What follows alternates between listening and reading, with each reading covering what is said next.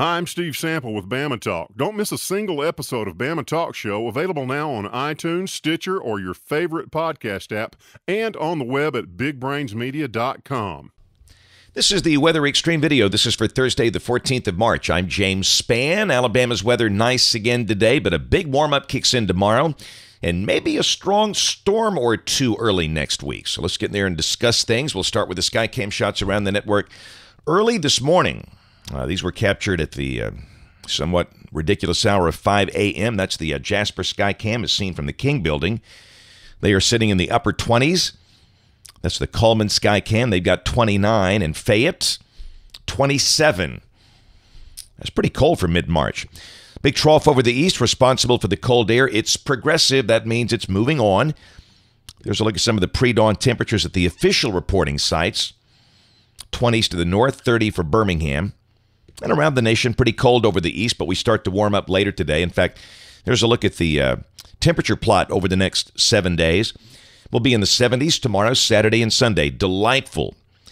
Uh, Monday should be pretty mild with 70s likely, but uh, then after that, we drop back in the 60s, not by much, a little bit uh, Tuesday and Wednesday of next week. There is a red flag warning for a pretty good chunk of Alabama. The counties there in purple, that's for the high wildfire danger because of the very dry air and some winter weather issues around North Dakota, but that's about it. The nation fairly quiet. And this is the rain over the course of the next five days, suggesting rain amounts of about one half inch for the northern half of the state, and that would be Monday and Monday night. Let's take a look at modeling. This is the OZGFS, valid at 12, 1 o'clock local time tomorrow afternoon, or I'm sorry, today. Uh, big trough over the east, northwest flow aloft, dry air. Should be a nice day. Highs mid to upper 50, still below average, but not as windy as yesterday. Tomorrow, we'll start the day around 40 and then we warm up nicely. The high should be in the low to mid 70s. Same thing on Saturday, just a go- glorious day. In fact, the GFS is showing 76 on Saturday. If by chance we can achieve that, that will make it the warmest day so far this year. Sunday, rain north of us with a surface boundary uh, but down here we stay dry and we stay very mild. The GFS is at 75. And uh, Monday, as an interesting deal, uh, we've got a, a strong shortwave well to the north. Down below that, the surface low is near Green Bay, Wisconsin. Cold air f- uh, flooding in behind the cold front there. But around here, it's going to be very, very mild, if not warm. The, the latest GFS is now showing 78. We could flirt with 80 on Monday.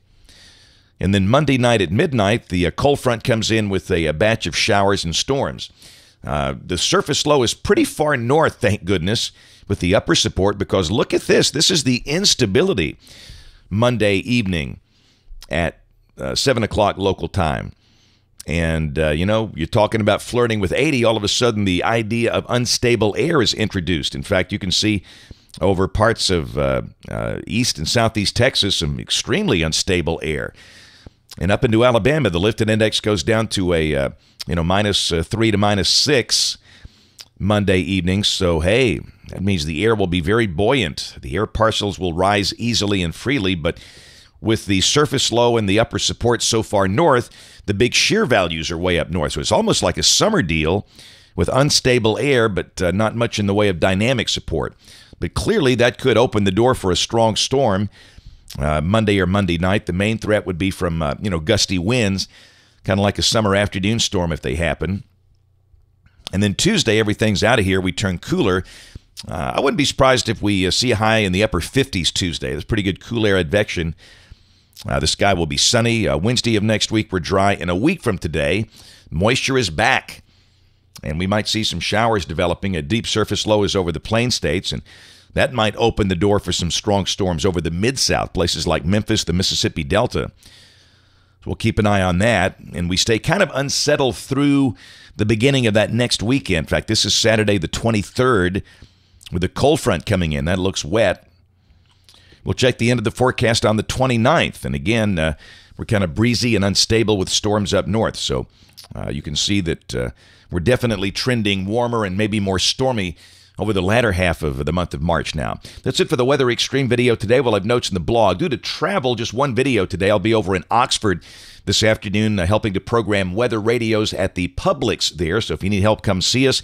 We'll be there from 3:30 until 6:30. Otherwise, you can watch us on television this evening, the live stream, or the television side, ABC 3340 at 4, 5, 6, and 10.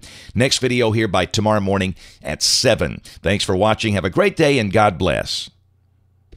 Be sure to catch the next episode of Just Talking It Up on iTunes, Stitcher, your favorite podcast app, or on the web at bigbrainsmedia.com.